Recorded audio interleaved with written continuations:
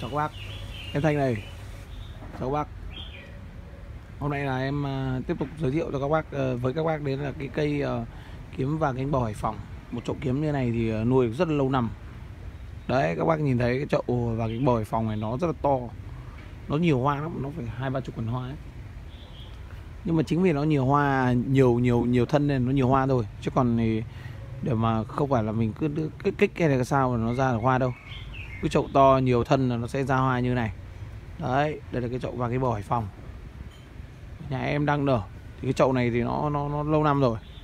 Thì đây hôm nay nó nở nhiều quá nhưng bây giờ em có thời gian để em quay được nhưng mà em vẫn có cái cái cái, cái suy nghĩ rằng là khi các bác mua kiếm ấy thì các bác nên uh, nhìn cả cần hoa chứ đừng nhìn một bông. Người ta chụp một bông khum khum ấy thì khó nói lên điều gì lắm. Còn là cây vàng cánh bò hải phòng này nó là cây mà có rất lâu rồi thì các bác ờ, xem các bác chơi thì các bác biết ngay nó là cây như nào. Chứ bây giờ mình để mà khi mà chụp một bông ấy nó mới hé ra thì các bác ờ, không thể nhận biết nó là cây nào cả. Mà nhìn cây nào nó cũng giống cây nào. Bởi vì dòng lô hội đột biến này nó cây trắng với vàng ấy nó giống nhau lắm. Nhưng mà nó chỉ khác nhau một chút thôi khác nhau không đáng kể. Thì các bác uh, nhìn cây này bụi em nó to như này cơ mà. To như này to lắm. Đấy to khiếp hôm nay ờ, cái chậu này rất lớn bụi rất to. Thì em quay ờ, bởi nó có nhiều thể trạng nên là à, um, nhiều thể trạng và nó có nhiều cái um, uh, hình dáng từ hoa khuôn bông các thứ. Thì để các bác nhìn các bác biết về sau các bác có thể mua những cái cây mà đương nhiên là nó sẽ không không phải là cây khác mà mua cây cây vàng cánh bầu hải phòng này thì nó sẽ được đúng cái tiêu chuẩn của cây vàng cánh bầu hải phòng. Thì đây thì nói về thân lá thì em cũng không không không biết nói nó dài dòng hay ngắn như làm sao à. Nhưng mà thân lá nó vẫn là dạng lô hội. Nó vẫn dạng lô hội thì các bác biết rằng là cây lô hội ấy, thì nó dòng thân lá bé. Cây lô hội dòng thân lá rất bé và nó nó nó phát triển rất là tốt. Nó đẻ nhanh lắm. Một năm nó đẻ khủng khiếp luôn. Nó đẻ từ một thân một năm nó phải được ba, bốn thân, có khi năm thân. Tùy vào là người trồng trồng đến đâu và ờ, cái chế độ ăn như thế nào, cách trồng phân bón, bao nhiêu. Đấy. Như cây này thì các bác thấy đấy. Khi mà em, nhà em có những cái cây này nó nở rồi này, thì thân là, thì thì thì em mới biết được chính xác nó là cây nào. Thì đây em nói sơ lược về cái thân thân lá của nó như này. Thân lá của cái cây lô hội này thì đây, nó như này thì nó bản lá của nó rộng khoảng tầm độ 2 cm bé thôi. Và lá nó dài khoảng tầm độ 50 đến 7 80 cm tùy vào cái cái cái cái cái, cái thân thân thân thân thân to thân nhỏ. 7 80 có nhưng mà nó sẽ không không thể vượt ngưỡng một mét được. Nhưng mà cây trắng tuyên quang nó sẽ vượt ngưỡng một mét. Còn cây này thì là là là cái cây à, à, uh, và cái bò hải phòng. Thì và cái bò hải phòng thì thân lá nó như vậy và mầm nó ra thì nó sẽ xanh lét xanh trong nó không có màu ám đấy là riêng về cái cây vàng, tất cả cây vàng, cây trắng. Dòng kiếm hay dòng địa lan hay dòng nào cũng vậy. Thì thân lá nó phải xanh trắng thì là nó mới nở hoa được vàng hoặc là trắng tuyền. Còn nếu không thì nó không thể nở hoa được màu vàng tuyền hoặc trắng tuyền. Mà thường thì là nó chỉ là trắng tím thôi. Nếu như mà thân cái mầm nó tím ấy, thì nó chỉ trắng tím thôi. Đấy. Thì đây thì ờ, em vừa nói sơ lược về cái lá. Thì bây giờ em nói sơ lược về cái hoa một chút. Đấy, thì các bác nhìn đây cần hoa này là cần hoa đã tàn rồi này. Đấy kệ để bên cạnh đi. Đúng không ạ? Đây thì cái cần hoa này là chuẩn bị tàn. Đây em đếm cùng các bác xem là được bao bông nhá. Một này hai này ba bốn này năm sáu bảy này tám chín mười một mười hai mười ba bốn mười lăm mười sáu mười mười tám mười chín hai mươi mốt hai hai hai ba hai bốn. 24 còn cái chùm nụ này là được uh, 5 29 thế chứng tỏ là nó được khoảng 30 bông nếu như cần hoa dài nó sẽ được khoảng 3, 30 bông.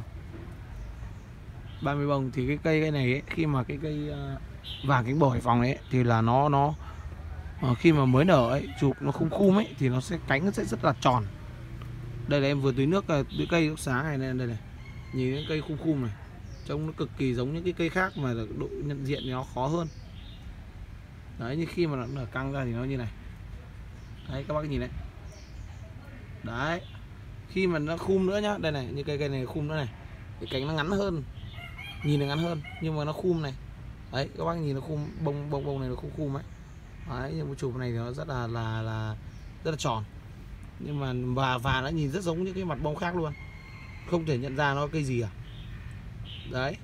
Nhưng mà nếu như mà các bác mà chụp các bác mua mua của của của những người uy tín ấy mà người ta chụp cả dây như này này đây này. Người ta nhìn cái cánh hoa này, các bác nhìn này đấy nó nở căng ra đây hay bông đầu tiên này. Thường thì là một uh, trong ba bông đầu tiên ấy nó sẽ là là tròn nhất cánh bầu nhất. Nhưng khi mà chụp nó khung khum ấy thì nó rất là to. Còn còn còn còn khi mà nó căng ra ấy, thì nó sẽ phẳng cánh như này, này đây như những bông này đang là bông căng. Còn những cái bông ở trên kia thì bông trên này thì nó đã quá rồi cánh cánh nó bị quằn. còn cây cây này thì là là nó đang đang tầm căng cánh nó phẳng phẳng cánh. Thì các bác có thể nhìn nhìn nhìn các bác có thể biết được là à cái này nó cây gì. Đây là chùm bên cạnh này thế. Đây.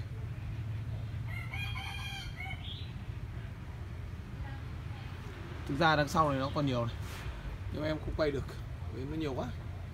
Với cả cái cây cây cây cây này nó nở như em nhiều rồi nhưng bây giờ em mới mới mới mới, mới có dịp quay.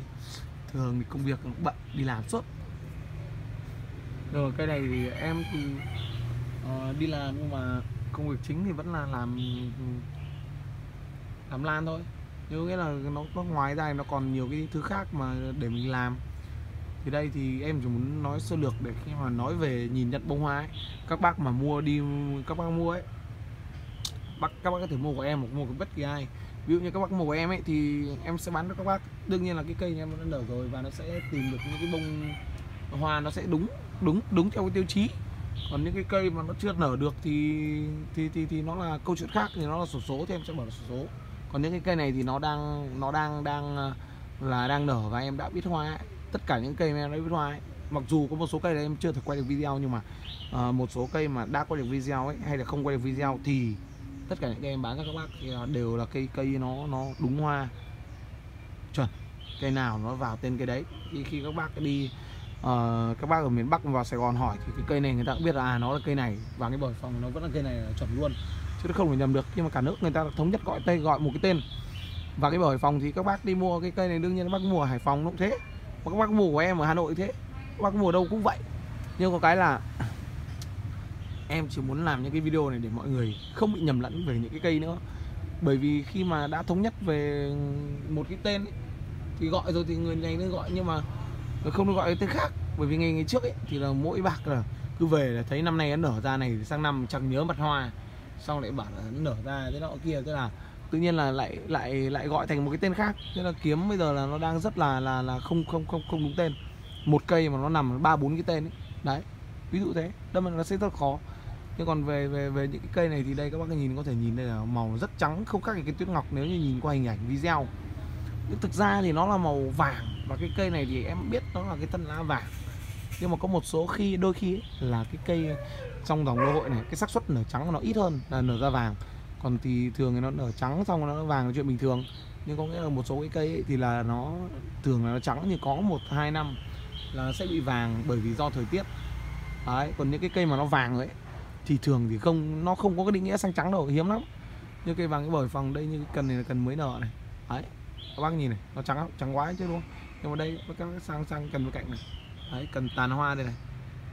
Nó màu vàng mà cái cần này nó nở căng này nó màu vàng. Nó vàng luôn luôn. Những bông đầu tiên nó sắp tàn nó cũng vàng. Đấy còn những cái bông mới nở thì đương nhiên nó sẽ trắng. Nó trắng nhìn màu thì rất là đẹp. Cái này là màu quá đẹp và nó vẫn nó vẫn có hơi có hương một chút. Hơi có hương một tí. Đấy. Đây thì em uh, giới thiệu các bác về cái cây uh, vàng kiếm vàng cánh bầu Hải Phòng. Nguồn gốc thì em chẳng biết ở đâu nhưng mà đại loại thì chắc là ở Hải Phòng nên là ngày xưa các bác ờ, mới gọi là cây kiếm vàng cánh bầu Hải Phòng.